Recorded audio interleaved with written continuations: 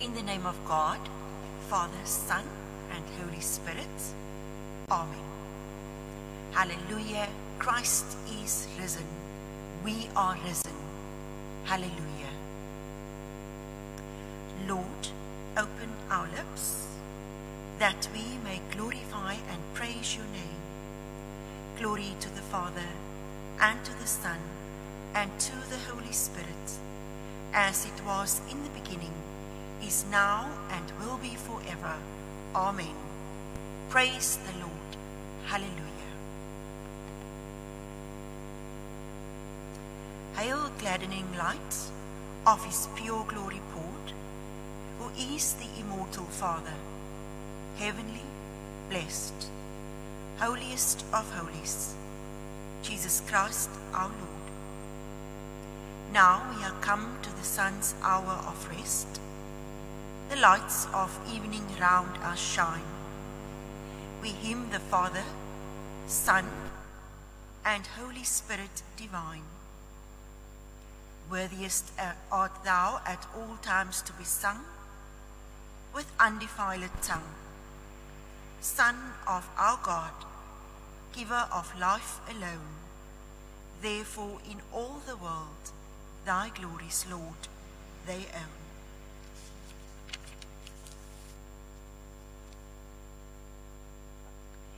Let us call to mind and confess our sins.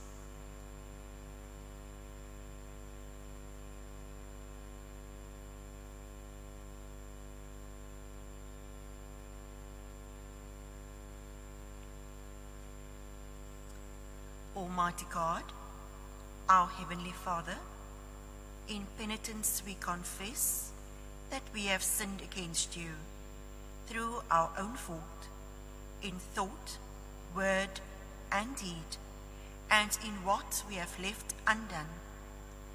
For the sake of your Son, Christ our Lord, forgive us all that is past, and grant that we may serve you in newness of life to the glory of your name. Almighty God, have mercy on us, forgive us our sins, and keep us in eternal life through Jesus Christ our Lord. Amen.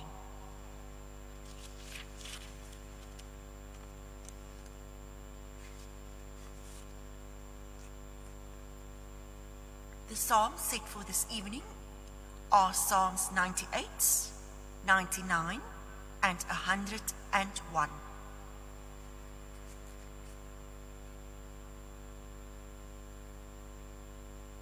O sing to the Lord a new song, for he has done marvelous things. His right hand and his holy arm, they have got him the victory. The Lord has made known his salvation. He has revealed his just deliverance in the sight of the nations.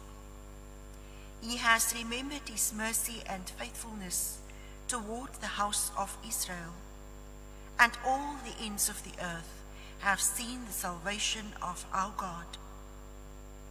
Shout with joy to the Lord, all the earth. Break into singing and make melody. Make melody to the Lord upon the harp, upon the harp and with the sounds of praise, with trumpets and with horns. Cry out in triumph before the Lord the King. Let the sea roar and all that fills it, the good earth and those who live upon it. Let the river clap their hands, and let the mountains ring out together before the Lord. For he comes to judge the earth. He shall judge the world with righteousness, and the peoples with equity. The Lord is king. Let the nations tremble. He is enthroned upon the cherubim. Let the earth quake. The Lord is great in Zion. He is high above all nations. Let them praise your great and terrible name, for holy is the Lord. The mighty one is king and loves justice. You have established equity. You have dealt righteousness and justice in Jacob. O exalt the Lord our God and bow down before his footstool, for he is holy. Moses and Aaron among his priests, and Samuel among those who call upon his name. They called to the Lord, and he answered. He spoke to them from the pillar of cloud. They kept to his teachings and the law that he gave them. You answered them, O Lord our God. You were a forgiving God to them and pardoned their wrongdoing.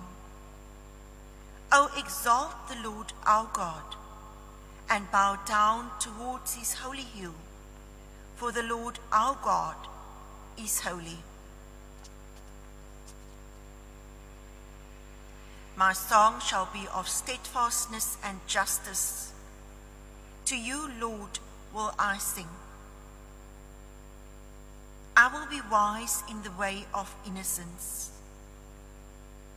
Oh, when will you come to me? I will walk within my house in purity of hearts. I will set nothing evil before my eyes. I hate the sin of backsliders. It shall get no hold on me. Crookedness of heart shall depart from me. I will know nothing of wickedness. The one who secretly slanders a neighbor, I will destroy. The proud look and the arrogant hearts, I will not endure. My eyes shall look to the faithful in the land, and they shall make their home with me. One who walks in the way of innocence, he shall minister to me. No one who practices deceit shall live in my house. No one who utters lies shall stand in my sight. Morning by morning, I will destroy all the wicked of the land and cut off all evildoers from the city of the Lord.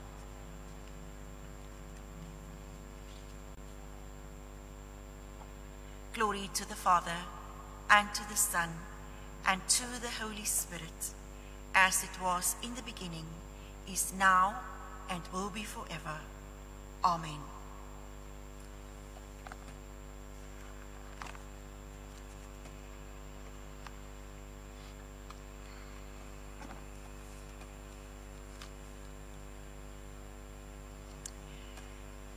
The lesson is from the Gospel according to St. Luke, chapter 6, reading from verse 39 to 49. He also told them this parable Can a blind man lead a blind man? Will they not both fall into a pit? A student is not above a teacher but everyone who is fully trained will be like the teacher.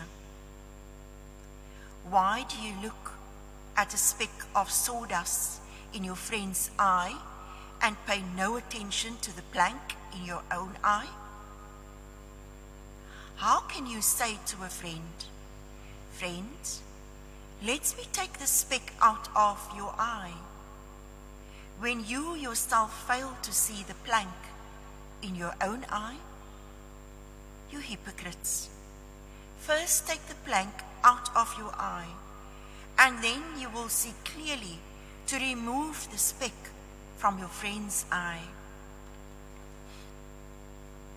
No good tree bears bad fruits, nor does a bad tree bear good fruits.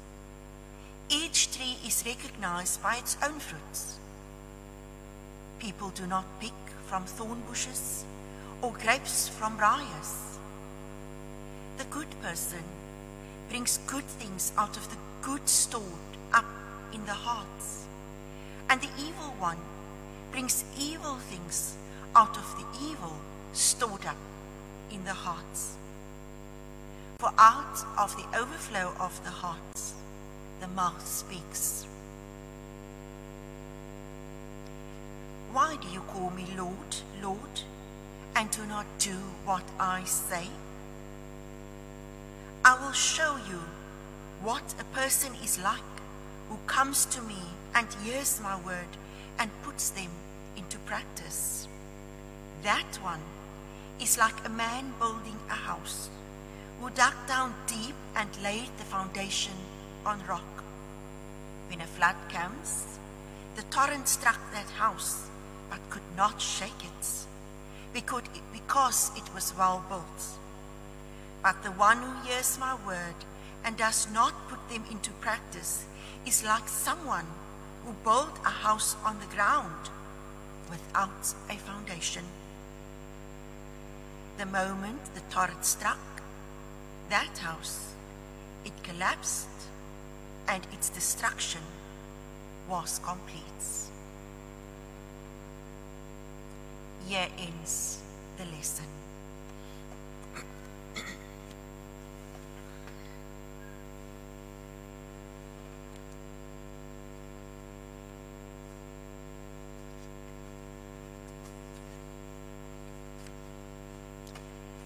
Today is the feast day of Monica, Saint Monica, the mother of Augustine of Hippo. And I'm going to read to you from Saints and Seasons. Monica was a Christian woman of North Africa whose devout faith is immortalized in her son's book, The Confessions of St. Augustine. As a young man, Augustine caused his mother great sorrow as he rejected her church and sought self fulfillment in the rival cults and philosophies of the day. She pursued him with her prayers, and when he crossed to Italy, followed him there in person until in old age she had the joy of seeing her son come back to the Christian faith. When Monica knew that her death was near, she tried to comfort her son.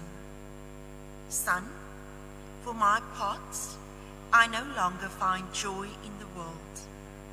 One thing there was for which I desired to remain in this life a little longer, that I should see you, a Catholic Christian, before I died. And when her son promised to carry her body back to Africa for burial, she forbade him. It does not matter where you bury my body. Do not let that worry you. All I ask of you is that wherever you may be, you should remember me at the altar of the Lord. The story of Monica and Augustine is an absolute beautiful and precious one. It is of a mother devoted to prayer for the salvation of the soul of her son.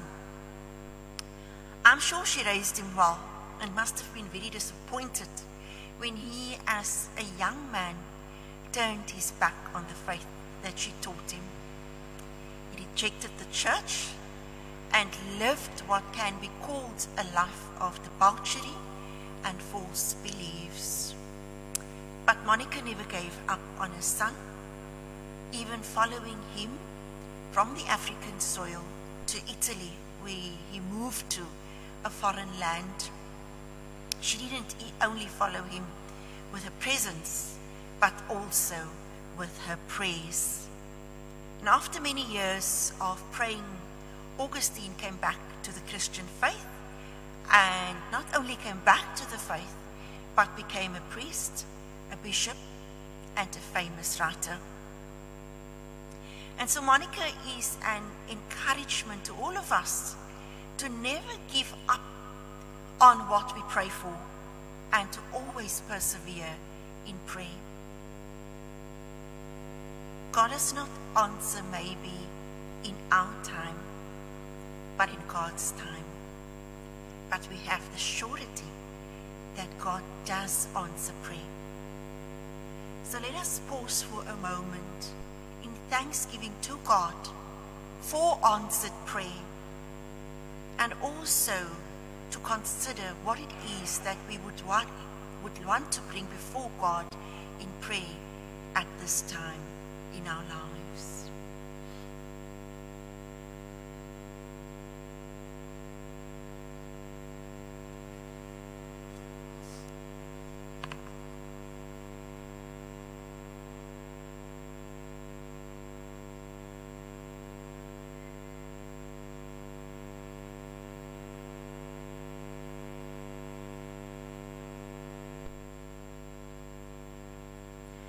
Lord has made known his salvation. He has revealed his just deliverance in the sight of the nations.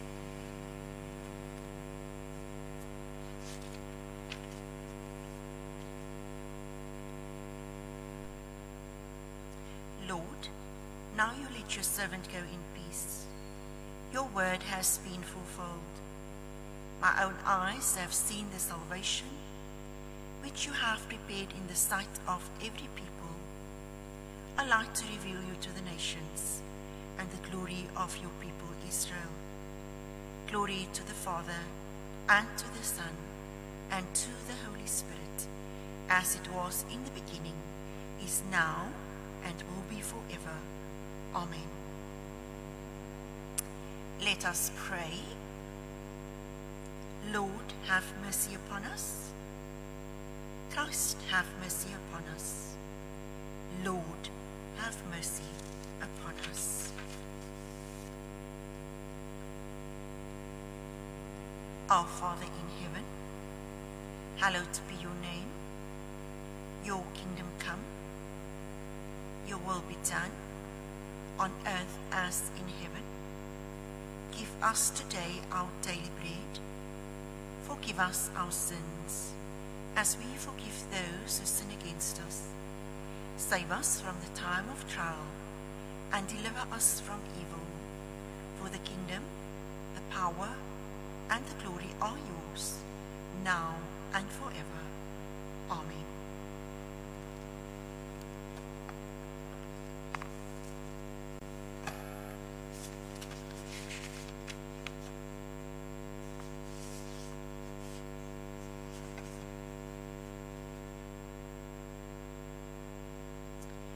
In our Anglican cycle of prayer, we pray for the Diocese of Southwark in the Church of England. We especially pray for the Right Reverend Christopher Chessun.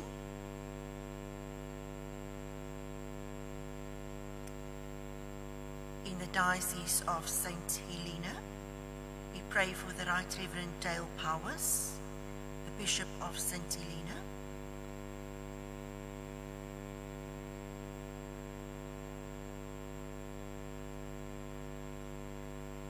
Diocese, we pray for the Church of St. Saviour in Claremont. We bring before God the Reverend Chesney France and his family. We pray for the parish leadership and all its people.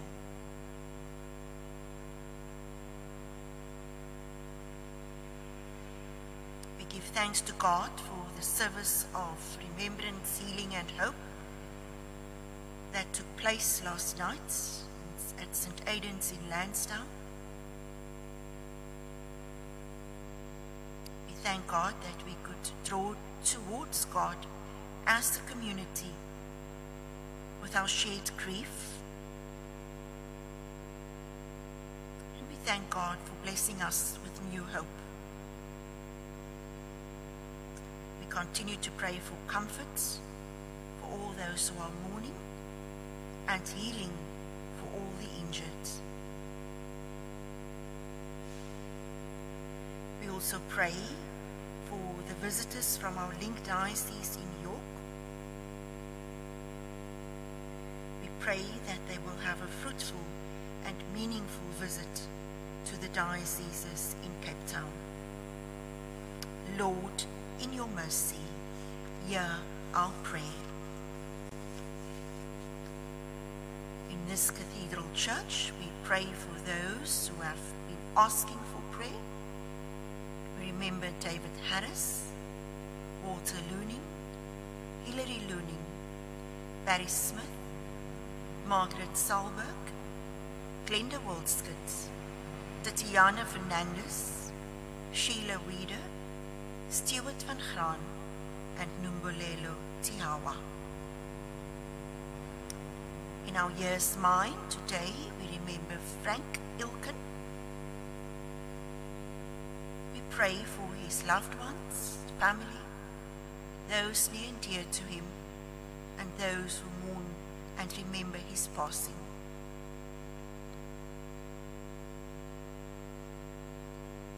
Lord, in your mercy, hear our praise.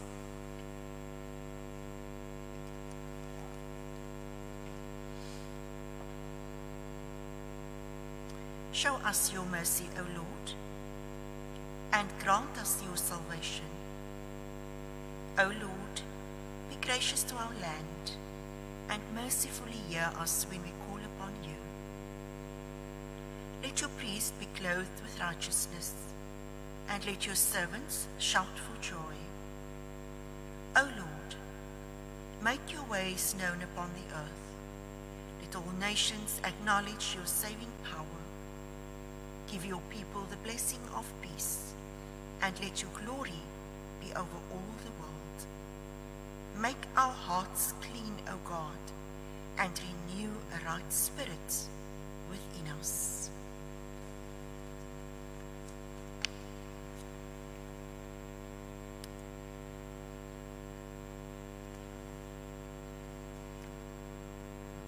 Good Shepherd, you are the gate that secures the sheepfold. Grant that all who hear your voice may know you, who calls us each by name, and follow where you lead. For you live and reign in the unity of the Blessed Trinity, one God, forever and ever. Amen. We pray the collect for Monica, mother of Augustine of Hippo. Gracious God, you heard the supplication of your servant Monica when she cried to you in anguish and sorrow. Teach us in all our asking, so to ask in your name, that our sorrow may be turned into joy. Through Jesus Christ our Lord. Amen.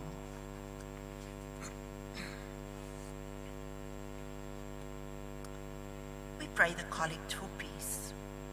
Eternal God, from whom all holy desires, all good counsel, and all just works proceed, give your servants that peace which the world cannot give, that our hearts may be set to obey your commandments, and that free from the fear of our enemies, we may pass our time in rest and quietness through the merits of Jesus Christ our Saviour.